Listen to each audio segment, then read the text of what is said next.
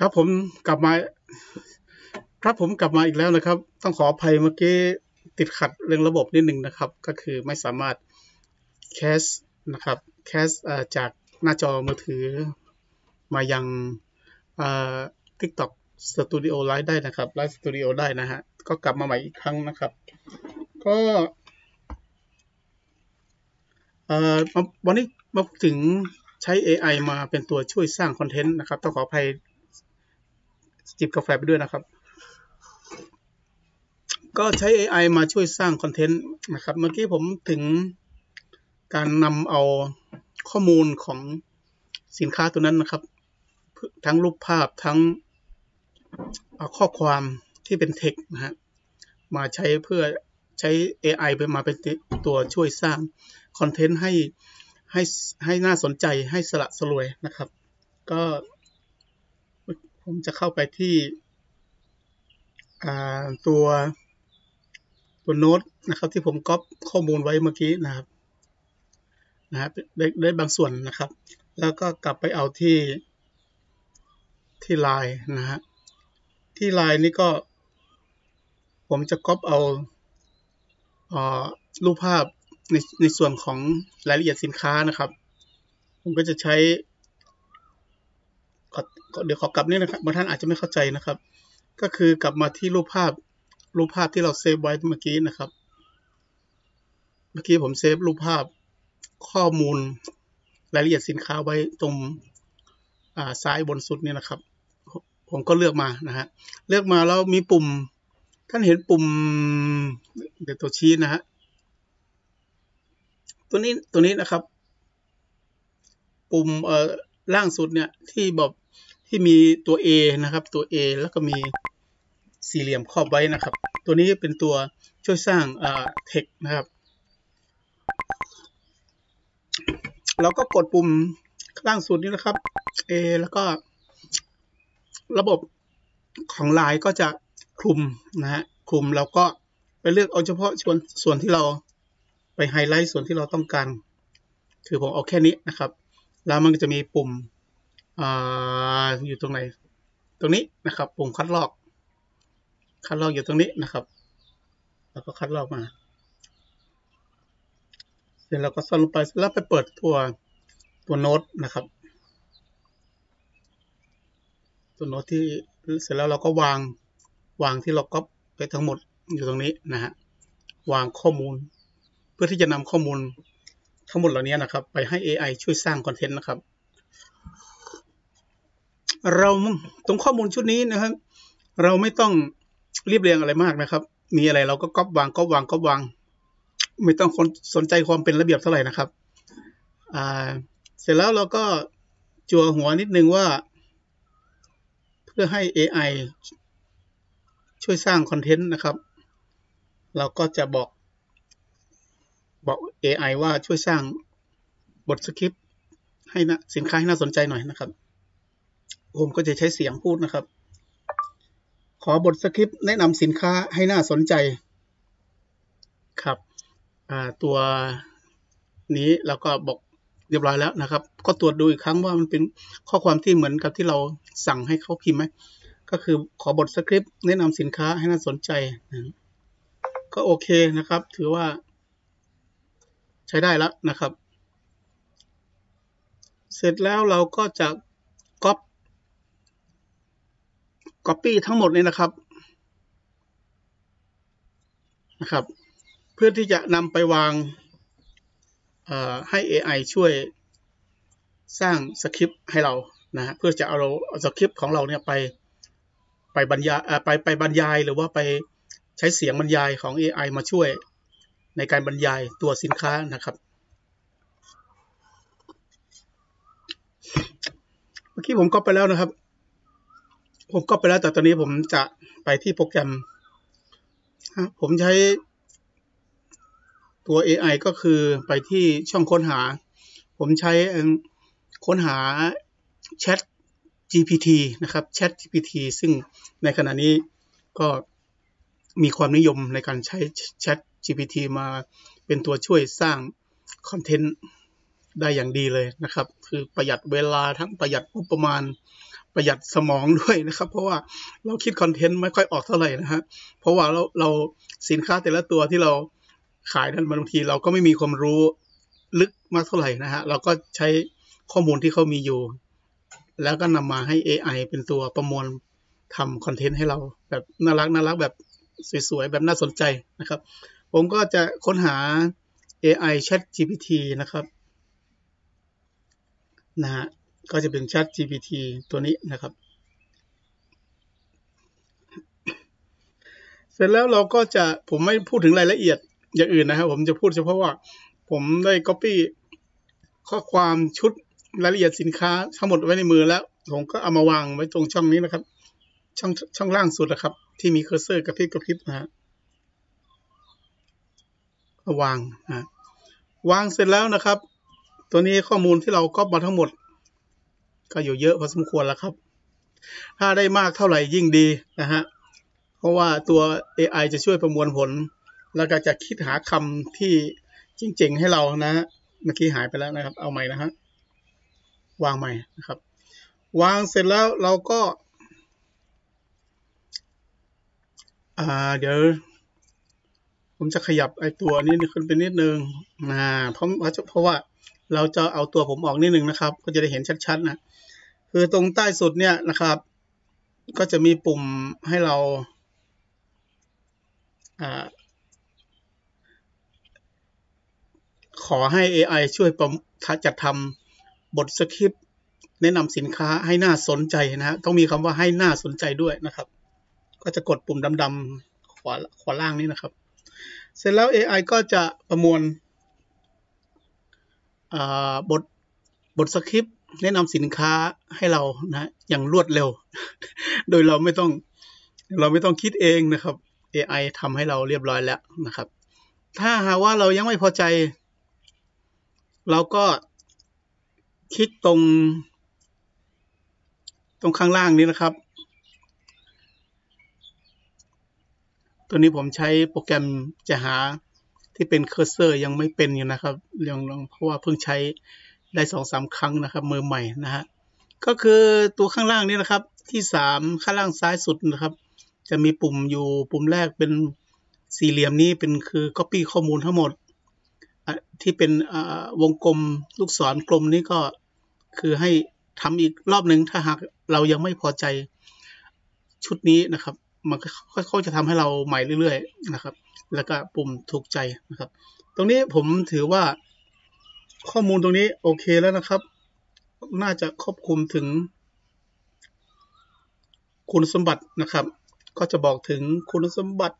ความทนทานมีอะไรบ้างด้านอะไรและการบำรุงรักษา วิธีการใช้งาน how to นะครับ ผมว่าโอเคแล้วนะฮะน่าจะใช้ได้แล้วนะครับ ถ้าหากยังไม่พอใจก็กดตรงตรงปุ่มลูกศร ย้อนสอนตรงกลางนะครับเขาก็จะ generate ให้เราใหม่ ให้เราดูอีกรอบหนึ่งว่าจะเอาแบบนี้ไหมนะครับ แต่ผมผมสาธิตนี่ผมเอาเลยนะครับ อีกอีกแบบหนึ่งอีกช่องหนึ่งเราก็ให้ให้ AI เนี่ย ช่วยทำแคปชั่น แล้วก็หาแท็กเจ๋งๆให้เราหน่อย ก็คือเราผมผมจะพิมพ์คำว่า ขอขอแคปชั่น และแท็กสินค้าครับ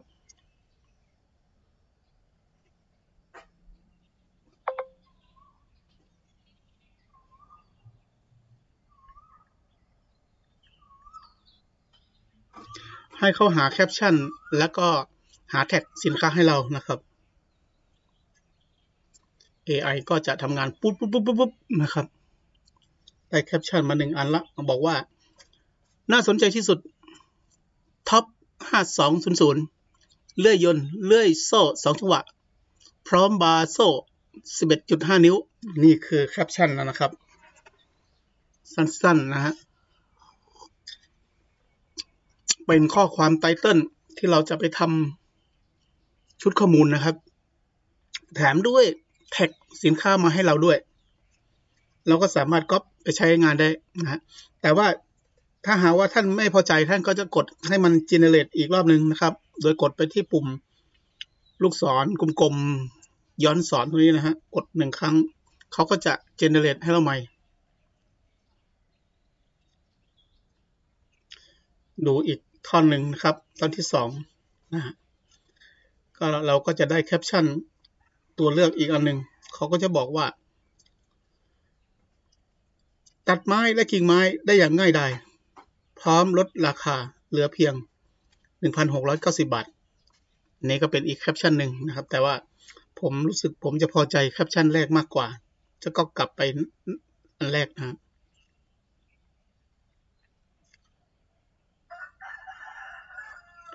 ผมก็จะก๊อปข้อมูลไปนะฮะ เอาตรงตรงเฉพาะแคปชั่นนะครับ นี่ผมจะก๊อปก๊อปเฉพาะแคปชั่นตัวนี้นะครับ คัดลอก เสร็จแล้วอาจจะเอาไปวางที่โน้ต เอาไปวางที่โน้ต ให้จะเป็นเป็นเป็นคำพูด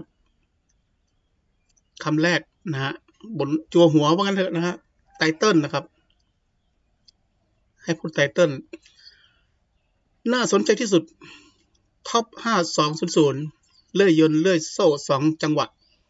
พร้อมบาร์โซ่ 11.5 นิ้ว ราคาพิเศษ 1,690 บาทเท่านั้นนะครับอะเพิ่มมานิดนึงนะครับ 50 บาทเท่านั้น คือให้มันเหมือนแบบถูก ๆ นะฮะ เสร็จแล้วเราก็กลับไป Copy เอา ตัวรายละเอียดสินค้าซึ่ง Chat GPT ได้ทำให้เราเรียบร้อยแล้ว นะครับ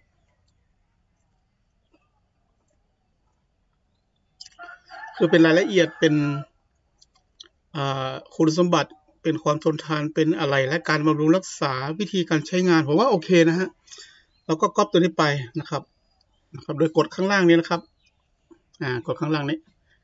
หรือท่านจะใช้วิธีก๊อปแบบนี้ก็ได้นะครับปึ๊บก๊อปออกข้อความ นี่แล้วก็ก๊อปแล้วก็คัดลอกไปนะครับ เสร็จแล้วผมก็จะเอาไปวางที่ ที่โน้ตนะครับโน้ตของผม ซึ่งมีท่อนแรกเรียบร้อยแล้วนะท่อนแรกบอกว่า น่าสนใจที่สุดท็อป 5200 เลื่อยยนต์เลื่อยโซ่ 2 จังหวะ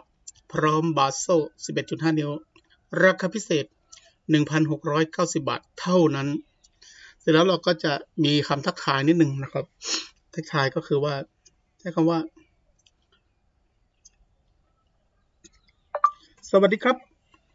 ขอแนะนำอุปกรณ์เครื่องมือด้านช่างให้ท่านไว้ใช้ที่บ้านนะครับ ครับ เราก็ได้ข้อความสำหรับการแนะนำเริ่มต้นนะครับ เสร็จแล้วเราก็เอาไปก๊อปเอาข้อมูล ที่ที่ที่ Chat GPT ทำให้เมื่อกี้นะครับ ตัวนี้นะฮะเมื่อกี้เราก๊อปไปแล้วนะครับ แล้วเอามาวาง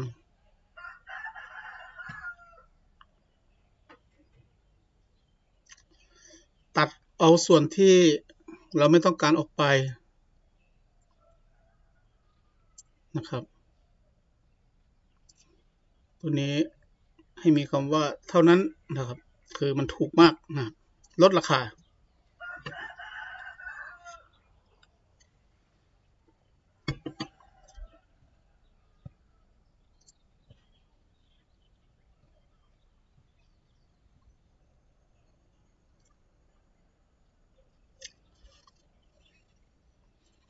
ถ้าเราสามารถตัดแต่งข้อความตรงนี้ ให้กระชับให้เหมาะแล้วนะครับ เราก็จะไม่ไม่ต้องไปปรับแต่งเพิ่มเติมในในตรงที่เราไปแปลง text เป็น voice แปลงข้อความของเราเป็นเสียงพูดนะครับ เราจะจะตกแต่งตัวนี้ก็ได้เลยนะครับ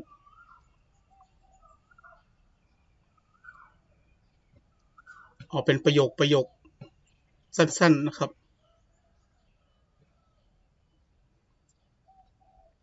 เราไปฟังดูอีกทีนะะ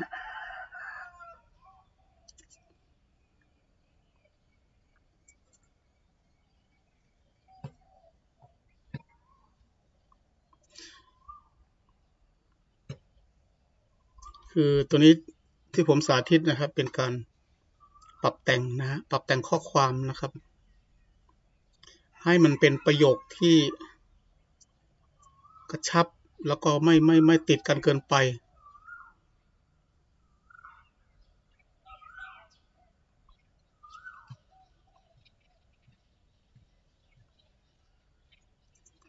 ตรงไหนที่เราจะเพิ่มเติมก็เพิ่มเข้าไป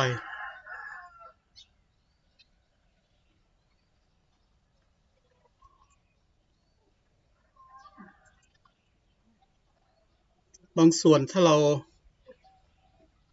ไม่เพิ่มเข้าไปเนี่ย ตัว AI ก็จะพูดแบบตามภาษาของเขาครับเนาะตามที่เราพิมพ์ไปนะครับ บางทีมันก็ไม่เข้าท่า แล้วก็ปรับแต่งเอา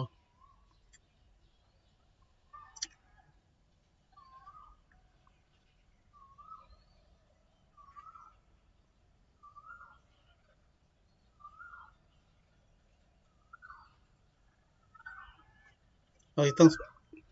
เสียเวลากับปั๊มตัดแต่งข้อความนิดนึงนะครับ อาจจะเสียเวลาตรงนิดนิดนึงนะครับ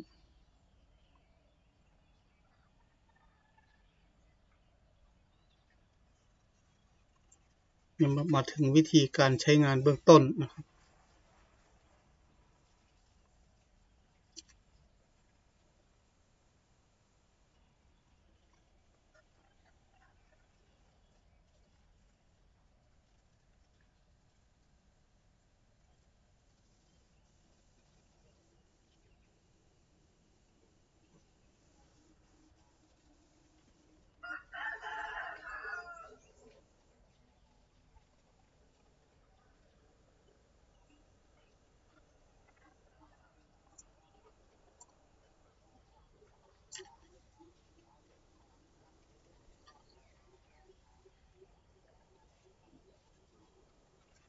ก็ดูระยะนะครับ ถ้ายาวเกินไปมันก็จะใช้เวลานานนะฮะ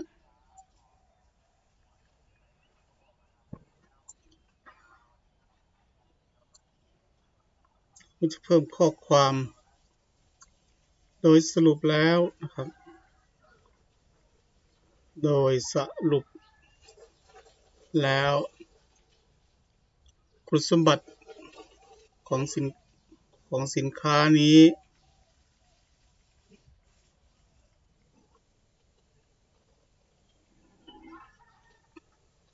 ที่โดดเด่น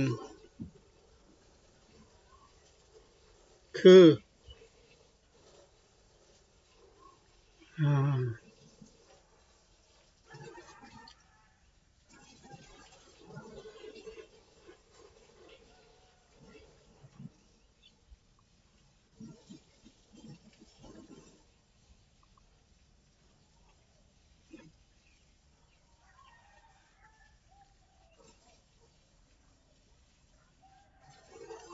วิธีใช้งานก็ วิธีใช้งานแล้วก็ได้กล่าวไปแล้วข้างต้นครับลบส่วนที่ไม่ต้องการออกไป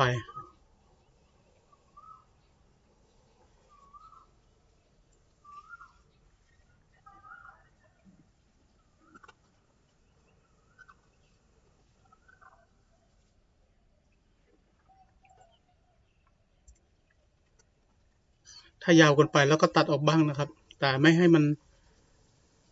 ขาดเนื้อหาหลักไป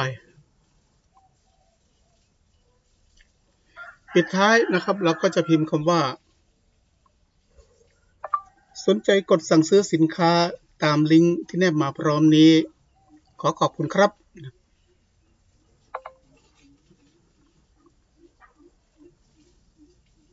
โอเค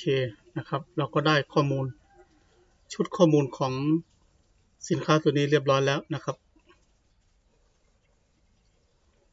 เราก็จะก๊อปเอาทั้งหมดไปนะครับ เสร็จแล้วผมก็จะแนะนำตัวตัวแอป ที่ใช้สำหรับแปลงข้อความเป็นเสียงนะครับ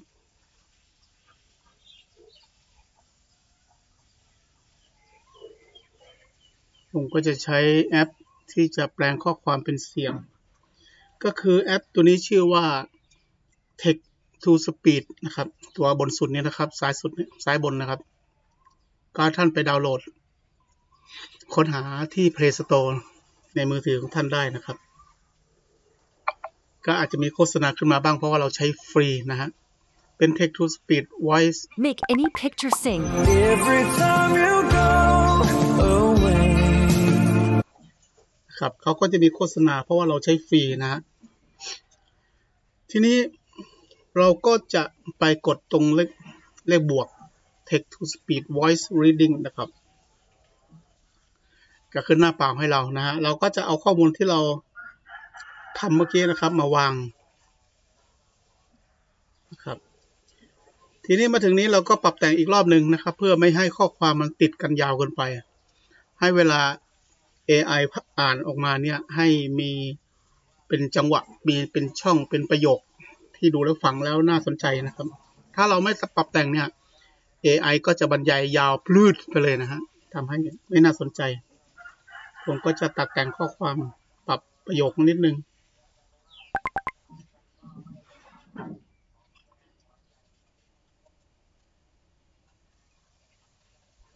นะครับ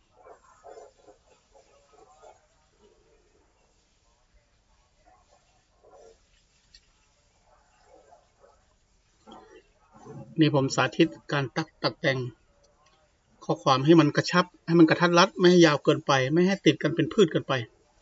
ไม่ให้ AI อ่านจนแบบฟังแล้วมันไม่ธรรมดาไม่ธรรมชาตินะฮะ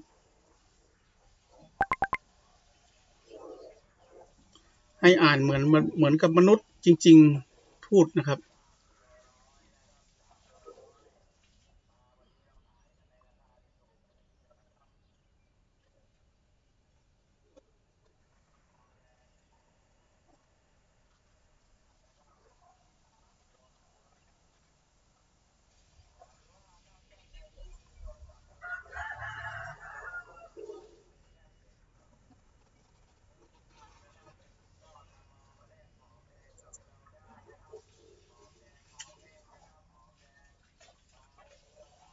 โอเคนะครับ เราต้องลองฟังก่อนนะครับ อย่าเพิ่ง อย่าเพิ่ง อย่าเพิ่งสรุปหรือว่าอย่าเพิ่งบันทึกนะครับ เราก็จะเคลื่อนปุ่มตรงนี้มาตรงนี้ แล้วก็กด กดตรงเพลย์ด้านล่างนะครับ ปุ่มเพลย์สีน้ำเงิน ด้านล่างนี้นะฮะ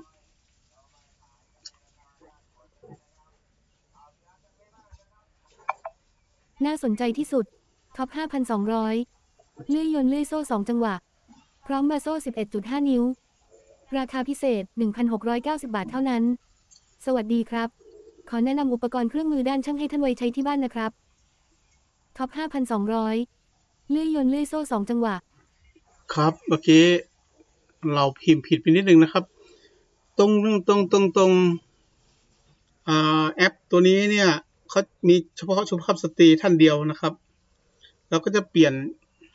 เมื่อกี้เราพิมพ์เป็นผู้ชายนะครับ เป็นครับนะครับเราก็เปลี่ยนเป็นค่ะนะครับ เพราะว่าแอปตัว Text to Speech ตัวนี้เนี่ย ให้บริการเฉพาะเสียงสุภาพสตรีอย่างเดียวนะฮะ มีคนเดียวว่ากันเถอะนะนะครับ มีคนเดียว มีให้เราเลือกได้แค่ คนเดียวนะดังนั้นก็เปลี่ยนจากครับเป็นค่ะนะครับฟังอีกรอบหนึ่งนะครับ น่าสนใจที่สุดท็อป 5,200 เลื่อยยนเลื่อยโซ่ 2 จังหวะ พร้อมบาโซ่ 11.5 นิ้ว ราคาพิเศษ 1,690 บาทเท่านั้น สวัสดีค่ะ ขอแนะนำอุปกรณ์เครื่องมือด้านช่างให้ท่านไว้ใช้ที่บ้านนะคะท็อป 5,200 เลื่อยยนเลื่อยโซ่ 2 จังหวะ พร้อมบาโซ่ขนาด 11.5 นิ้ว ผมเปลี่ยนตัวนี้นิดนึงนะครับ ให้ใช้ที่บ้านไว้ใช้ที่บ้านโอเคแล้วก็ฟังต่อ พร้อมบาโซ่ขนาด 11.5 นิ้ว ดีจริงการเกษตรลดราคาเหลือเพียง 1,690 บาทเท่านั้น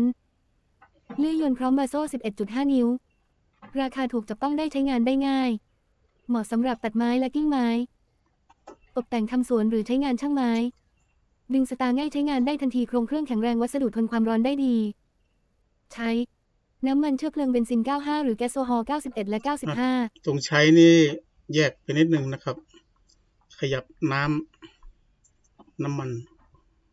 โดยผสมออโต้ลูก 2 ทีในอัตราส่วน 25 ต่อ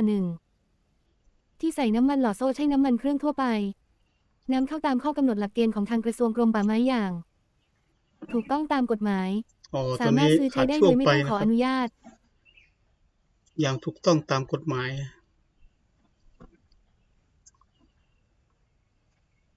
เครื่องยนต์2จังหวะ แรงม้าเต็มสูบ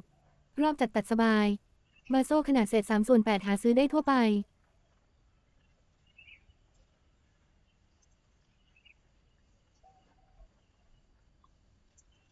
อะไหล่เครื่องและอะไหล่ทดแทนสามารถหาซื้อได้ง่ายเป็นรุ่นใช้งานมอตราฐาน เสื้อสูบทนความร้อนได้ดีใช้งานนานต่อเนื่องพลาสติกตัวเครื่องหนาแข็งแรง วิธีใช้งานในเบื้องต้น 1. ดึงโชว์คอเข้าหาตัวเพื่อเป็นการเปิดโชว์คอน้ำมัน 2. ผลักสวิตช์ on off หรือเปิดปิด 3. ดึงชุดสตาร์ท3-4 ที่ก่อนเพื่อไล่อากาศหรือเครื่องมีอาการจาม 4. กดคันเร่งเล็กน้อยเพื่อให้โชว์คอดีดกลับ 5. ดึงเพื่อสตาร์ทก็สามารถใช้งานได้ทันที โดยสรุปแล้วคุณสมบัติของสินค้านี้ที่โดดเด่นคือ ใช้งานได้ง่ายเหมาะสำหรับตัดไม้และกิ้งไม้ ตารางง่ายใช้งานได้ทันทีโครงเครื่องแข็งแรง ใช้น้ำมันเชื้อเพลิงเบนซิน 95 หรือแก๊สโซฮอล์91 95 เครื่องยนต์ 2 จังหวะแรงม้าเต็มสูบ สนใจกดสั่งซื้อสินค้าตามลิงก์ที่แนบมาพร้อมนี้ ขอขอบคุณค่ะ ครับก็ถือว่าตอนนี้นะครับ เราก็ได้อ่าเสียงที่เราพร้อมที่จะเซฟลงในเครื่องแล้วนะครับ ถือว่าเราฟังแล้วเราพอใจแล้วนะครับ ขั้นต่อไปเราก็จะเซฟอ่าเสียงตัวนี้นะครับ ลงเก็บไว้ในเครื่องเพื่อนำไปใช้ตัดต่อต่อไปนะครับ แล้วก็ไปที่ปุ่มด้านบนนะครับ บนสุดนะครับ บนสุดขวาสุดนะครับ ตรงสามปุ่มสามปุ่มตรงนี้นะฮะกด เราก็จะ export audio file